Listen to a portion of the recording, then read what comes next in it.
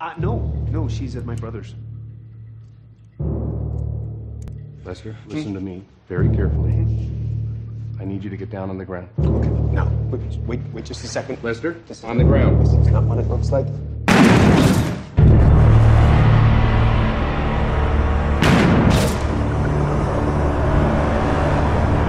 大家好，欢迎来到扁豆看电影。今天给大家带来《冰血暴》第一季第五到六集。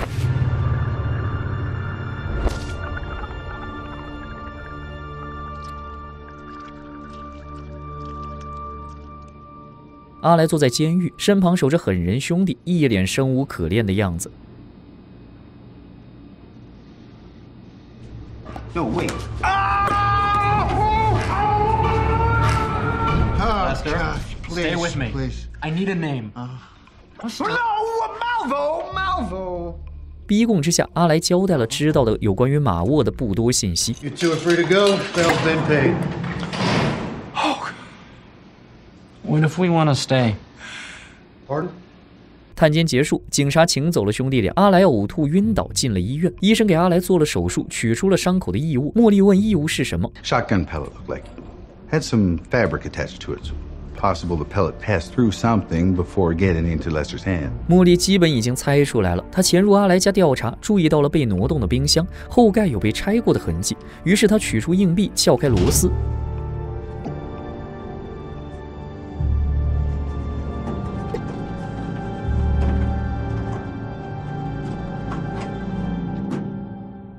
什么也没摸到。And right around the time Pearl died, an outgoing call was placed from Lester's to Leroy's motor inn. 茉莉还是凭借自己的调查和推理，集全了所有的拼图，还原了罪案的经过。赫斯撞断了阿莱的鼻子，阿莱在医院遇到了额头受伤的马沃，阿莱买凶杀人，请马沃杀了赫斯。也许是因为付不起钱，马沃找阿莱算账，遇到了上门调查的局长。局长被杀的时候，阿莱就在现场。至于猪猪的死，暂时无法确定。天衣无缝的分析，连一向袒护阿莱的索尔，这回也被说服了。I mean, we gotta talk to him, don't you think? I guess we better. 马沃找街头贩子买了一个警用频率监听器，用于监听警察的无线对话。到老唐家，用一套变声设备连接电话，给超市大王打了过去。超市大王投降了，他要交出一百万，要不然等待他的可能是长子之死。一百万美金就这样到手了，老唐有些难以置信。咱们六四开吧，我只要四成就知足了。马沃把老唐锁进密室，答应事成之后放他出去。What, what if I gotta go to the toilet? You're a smart guy. You'll figure something out. 马沃开着车，再次邂逅了值班的格林。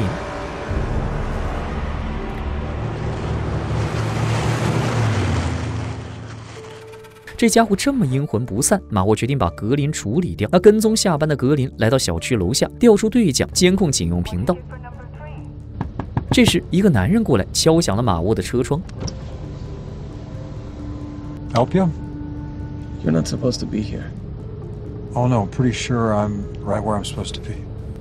Neighborhood watch. If you don't move, I'm gonna have to call the cops. Well, friend, there's no need for that. This is a nice neighborhood. 男人也是小区业主，一眼就看出了马沃来路不明外地人，让他赶紧走。这是友好的社区，孩子们在街上玩耍，邻里之间经常聚会。我们不需要一个人在车里捣鬼。马沃不甘示弱，也说了一番狠话。Or they come, but only after the neighbors call. Which, uh, if this community is tight, as you say, you know, just might be quick enough to save your life. Or your children's lives. Say Irene. 男人吓坏了，骂马沃魔鬼。马沃自知暴露，也只能开车离去。狠人兄弟从警察朋友手里拿到了马沃的资料，他们终于有了明确的目标。茉莉来到医院，推开阿莱的房门，用凝视毒蛇般的眼神凝视阿莱。阿莱仿佛感觉到了背后有一股灼热的视线，警觉地闭眼装睡。一场猫鼠游戏在两人之间上演。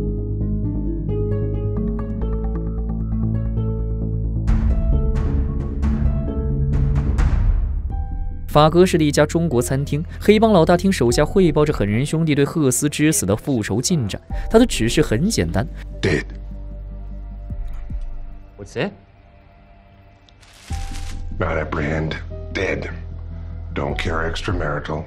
Don't care not related. Kill and be killed. Head in a bag. There's the message.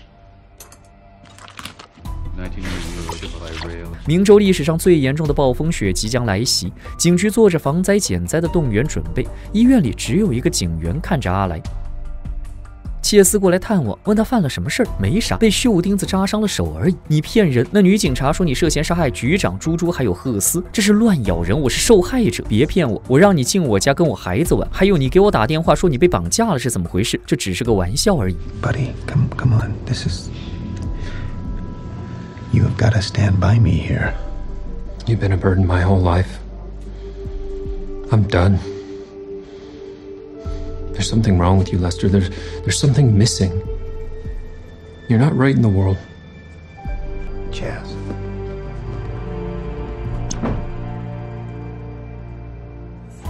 阿来又一次被自己最亲的人深深伤害了，于是他跟病友调换了床位，裹住头，被护士推出去，然后逃出了医院。为了避免长子之死的应验，超市大王让儿子躲了起来，随后带着钱提前两个小时来到约定地点。这是一家停车场的楼顶。超市大王最近服用精神药物，头脑不清醒。一件事他一直没想明白，这到底是人为的勒索，还是上帝的惩罚？雪越下越大，让他想起了二十年前的那一幕。突然，他似乎顿悟了，知道了该怎么做，于是把车开离了停车场。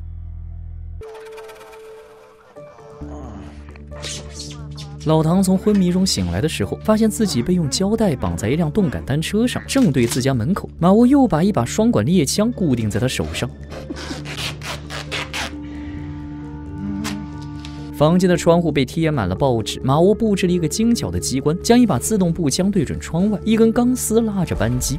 马沃表示，如果超市大王报警，我要确保警察忙得抽不开身。马沃站在老唐面前，老唐似乎逮到了一个机会。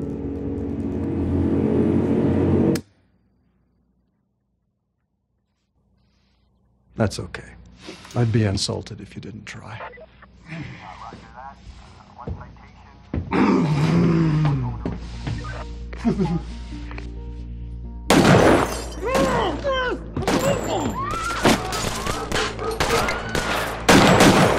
布置完毕，马沃朝窗外的行人放了几枪，当然没打中人，动静很大。不到半分钟的时间，他便从警用频道里听到有人报警，警方出动了，一切安排妥当。马沃收拾东西离开，启程去停车场拿一百万。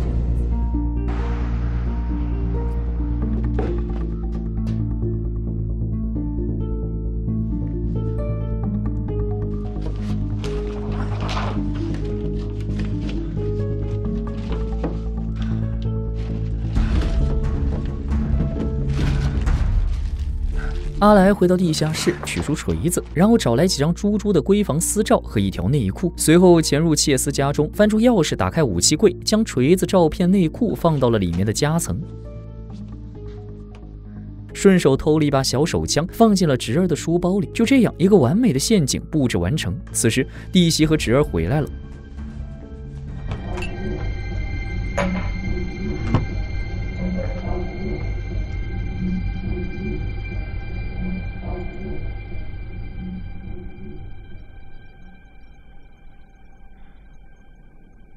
不过这孩子似乎习以为常，就当什么都没有发生过，回头继续倒水。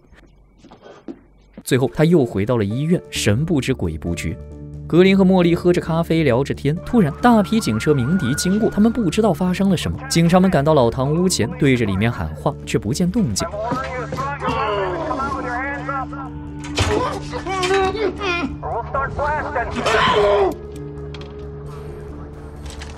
领导决定爆破突进。马沃开着车，在警用频道里听着现场直播。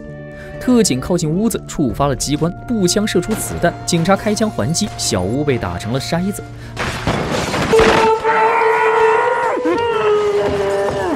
老唐拼命挣扎，却无济于事。他只想跟着马沃占点便宜，没想到会落入这番境地。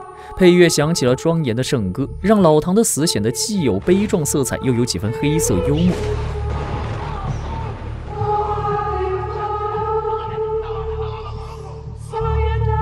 这就是跟着魔鬼合作的代价。特警表示，嫌犯已死，这是我见过的最古怪的自杀方式。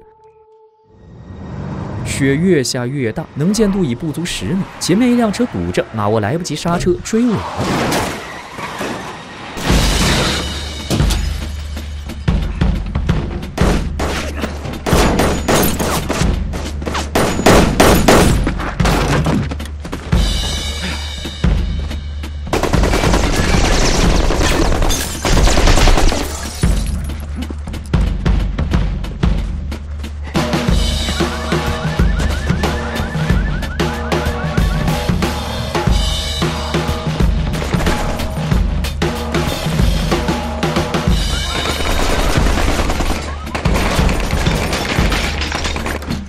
shooting up the block. It's goddamn World War 911. 两个人拿着两挺冲锋枪，马沃没有武器，他再厉害也是毫无胜算的。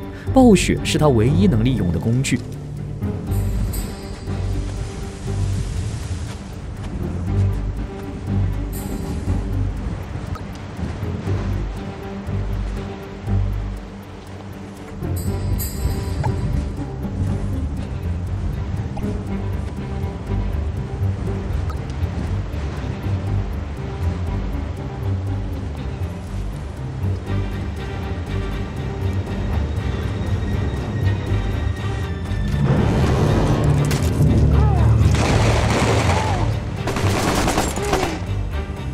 Wait. We should wait for.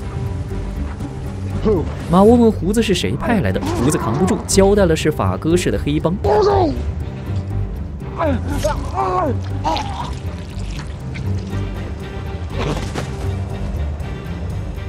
胡子被割喉，马沃消失在雪中。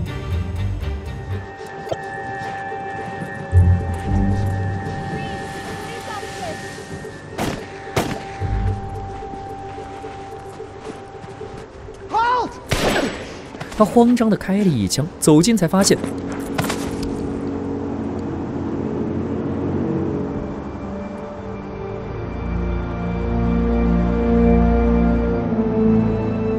超市大王来到二十年前神迹发生的地方，将一百万现金埋回了原地，把上帝的东西还给上帝，这样就没有亏欠了。他已经彻底相信这是上帝的惩罚，不是凡人的勒索。可上帝似乎并没有原谅的意思。在保安的护送下，儿子正在返程的路上，才驶出暴风雪，他们便遭遇了一场雨雨。What the heck was that?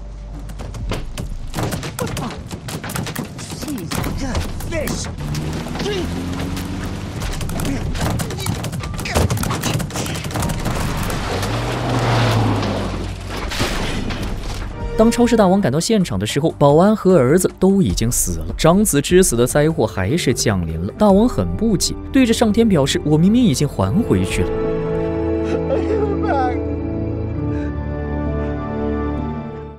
冰天雪地，凶杀暴力，白色的雪搭配红色的血，透着一股罪恶的美。自然的荒蛮和人性的野蛮是《冰雪暴》系列的核心主题。电视里报道着由飓风引起的雨雨现象，飓风把湖里的水和鱼都吸到上空，然后在十公里外抛了下来。所以这并不是什么上帝的惩罚，而是纯属意外。勒索者制造了幻觉，被勒索者却把钱给了上帝。人生充满意外，生活就是这么的荒诞。没拿到钱还遭人暗算的马沃，下一步会怎么做呢？阿来布置的陷阱能起作用吗？更多精彩，咱们下期继续。